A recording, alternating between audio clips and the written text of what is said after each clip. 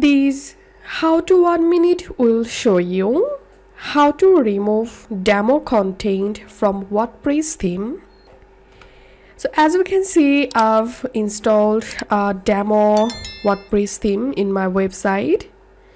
And to remove these, so first of all log into your WordPress dashboard and go to your dashboard and here we are going to install a plugin so hover over on plugins and click on add new.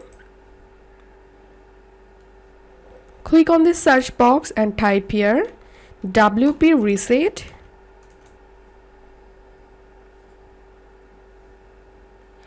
And from here you have to install this plugin.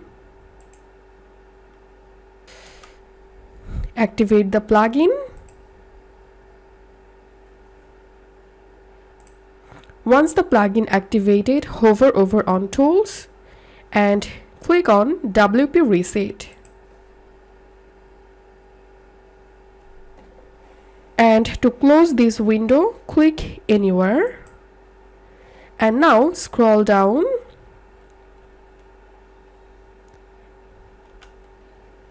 under Site Reset section, type here Reset and click on reset site.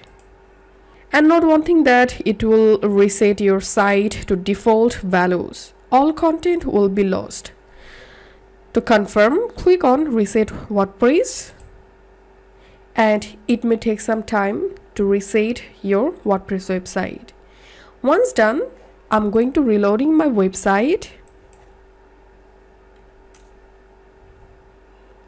And as you can see demo theme has been successfully removed from my WordPress and this is the default theme. So this is how we can do it. If you find this video helpful don't forget to subscribe. See you in the next video